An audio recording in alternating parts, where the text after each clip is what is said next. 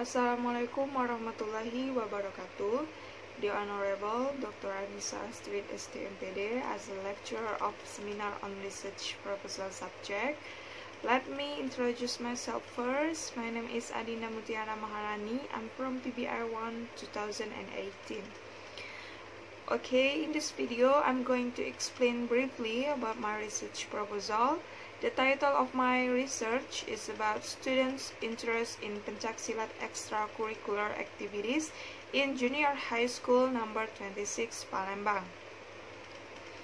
There are two research problems in my proposal.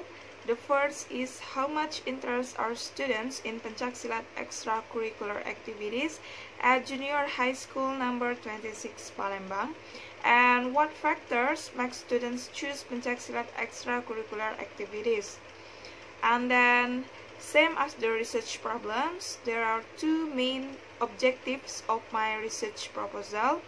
The first is to find out how much interest students of junior high school number 26 Palembang are in extracurricular activities of Pencaksilat at school and then to find out the perceived factors that influence students choosing extracurricular Pencaksilat. And next, uh, we move to research methodology. Uh, the first part is research design. This study used a qualitative with case study method. Uh, Creswell in 2012 state that a case study is a problem to be studied which will reveal a deep understanding of case or bounded system, which involves the understanding of events, activities, processes, or one or more individuals. The purpose of this research is to find out why students choose Pencaksilat for their extracurricular activities at school and to understand the factors that lead students to choose Pencaksilat for their extracurricular activities. Um, the students in junior high school number 26 Palembang are selected as the sample. This case involves a case study with limited participants. In addition, the study was observed when students were not in class but were doing extracurricular activities. And then uh, the second part is research setting and participants. Uh, this research took place at junior high school number 26 Palembang that located at Haji Sanusi Street, Sukabangun, uh, Palembang City. I took students in junior high school number 26 Palembang who take Pencaksilat as an extracurricular as the population of this research.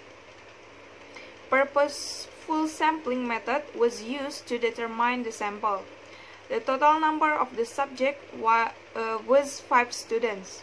The students in junior high school number 26 Palembang were chosen as the sample in regard to know the reason why they choose Pencaksilat as their extracurricular at school. Um, next, the third part is the technique for collecting data. To obtain the data in this research, the researcher used some techniques such as observation, and interview. Um, the first is observation. In this study, observations were made among students of junior high school number 26 Palembang who chose Pencaksilat as their extracurricular in order to view the actual situation and collect the Pencaksilat data in practice. According to Best and Kahn, observation is usually a detailed notation of behaviors, events, and the content of events and behaviors.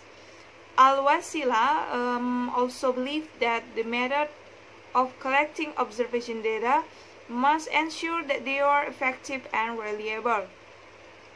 Um, the observation was conducted for one meeting.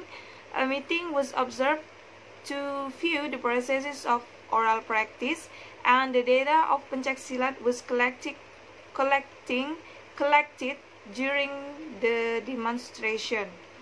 And then the second is interview.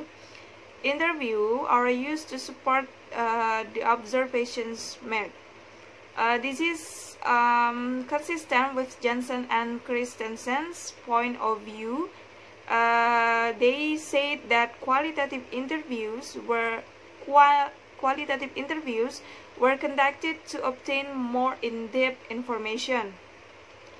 Um, in 1989 also stated that structured interviews are carefully planned around a set of predetermined questions and can be combined with other data collection techniques, such as uh, formal questionnaires. Uh, there were two sections of interview that use collecting the data. First, the interview for the instructor is ready-made questions that were taken from. There was a structured interview consisting of five uh, of five questions to elicit students' difficulties during Pencaksilat practice. Uh, the interview questions were asked to the instructor to describe a successful doing pencaksilat from their point of view and to mention what the most important cri criteria used to improving their skills. Um, the instructor also was asked about why the students choose pencaksilat as their extracurricular. Um, in the in the other side, um, the instructor was asked about what is the difficulties in practice pencaksilat. The last, uh, the instructors were asked about their recommendation for improving their skills in pencaksilat. Second, uh, the interview for the students contained ready-made questions that developed from the two open-ended questionnaires. Uh, the students were asked about their experiences of oral presentation, how students feel in delivering oral presentations, why they encountered those things, and also their perception about pencak silat. Uh, the last, the students were asked about successful practice pencak silat. And next, the fourth part in my research methodology is technique for analyzing that data. Uh, first is for observation. Um, during the observation process, collect data through the camera, record the performance of the students, and observe the practice pencaksilat process of each meeting.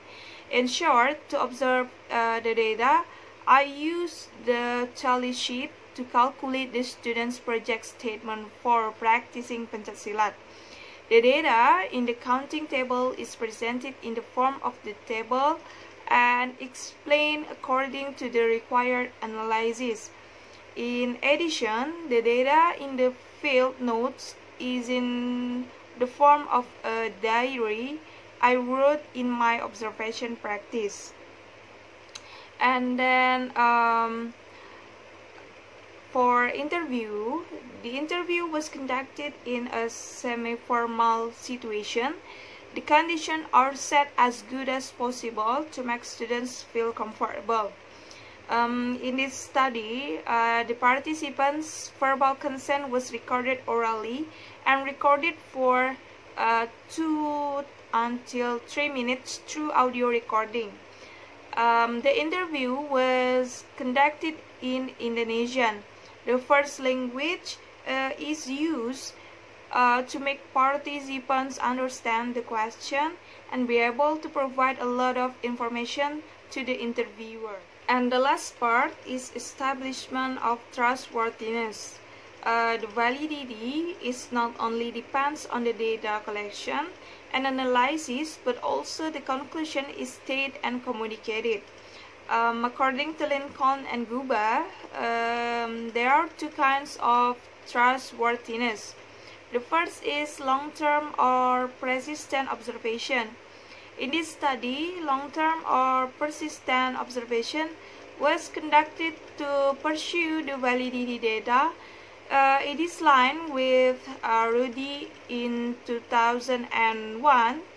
Um, Rudy suggests that by persi persistently observing of the same phenomenon over a period of time, the researcher can ensure the research finding to increase the validity. Accordingly, I was present continuously in the Pencaksilat during observation to identify why students choose Pencaksilat as their extracurricular. And the second is triangulation. Triangulation was used in this research. Um, as Bailey and Allwright uh, in 1991, uh, they state that methodological triangulation refers to using different methods to collect the data. Uh, the triangulation involved the use of multiple methods or multiple data sources to verify the data interpretation. Classroom observation was conducted to see out the students' difficulties and also to see students' performance during delivering oral presentations. The last um, interview to the instructor and also the students were used to cross-check the previous data. So um, I think that's all for my explanation about my research proposal. Um, sorry for all my mistakes and let's say wassalamualaikum warahmatullahi wabarakatuh.